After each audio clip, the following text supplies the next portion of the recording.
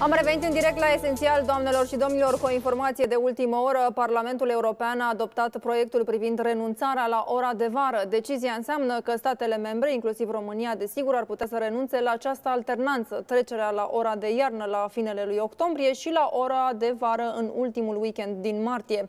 Decizia finală aparține însă fiecărui stat în parte. În legătură telefonică directă cu noi este Sabina Iosub, care ne explică acest vot din Parlamentul European. Sabina, te ascultă. Bun găsit! Este vorba despre aprobarea unei uh, directive, unei propuneri de directive, de fapt, ce vine dinspre Comisia Europeană. Cu alte cuvinte, Comisia Europeană a zis la un moment dat ar fi cazul să se renunțe la această alternanță.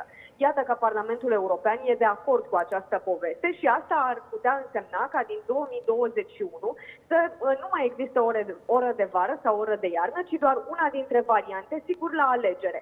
Cine optează pentru aceste variante? Statele membre. Practic, în acest moment există o recomandare, să spunem, de la nivel european, uh, ce va fi um, preluată de fiecare stat membru în urma unei consultări naționale, în mod normal. Adică cineva ar trebui să ne întrebe pe noi românii cam ce vrem și cam cum vrem. Să avem alternanță, să avem doar oră de vară, să avem doar oră de iarnă. Sigur, lucrurile acestea se vor întâmpla în perioada următoare.